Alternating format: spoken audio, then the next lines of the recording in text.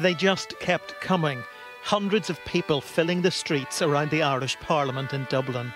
At vigils nationwide, they paused to express their shock and anger at the murder of Ashling Murphy.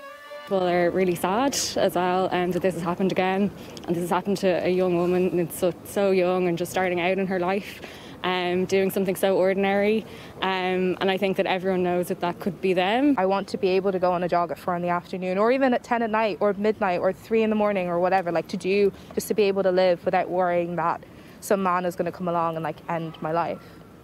Ireland's Prime Minister and Taoiseach Micheál Martin joined those remembering the young schoolteacher.